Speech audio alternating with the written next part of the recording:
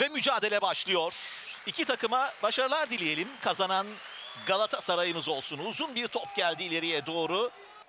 Yasin Kasal da bu gruptaki tek golümüzün sahibi Kopenhag karşısında atmıştı o golü. Ali Turap bıraktı. Bu mücadele alkış aldığı taraftarımızdan. Şimdi defansın arkasına doğru. Beknaz topla buluştu. Beknaz kaleci geçti.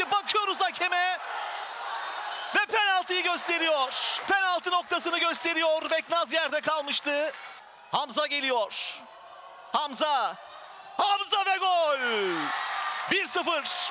Üçüncü dakika. Öne geçiyoruz Hamza'nın golüyle. Erken gelen bir gol.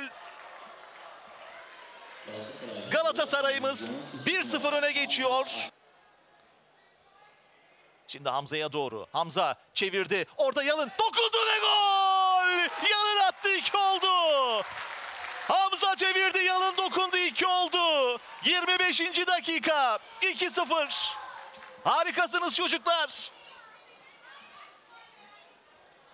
Şimdi sağ taraftan tehlikeli geliyor Bayern Münih. Ceza alanına orta. Sekti orada. İkinci pozisyon. Ali Turap araya girmek istiyoruz ama olmadı. Maalesef top ağlarımıza gidiyor. 28. dakika. Sevgili seyirciler. Yalın da hareketlendi. Beknaz top hala onda. Beknaz. Beknaz vurdu kaleci son anda. Korner. Adam Aznao.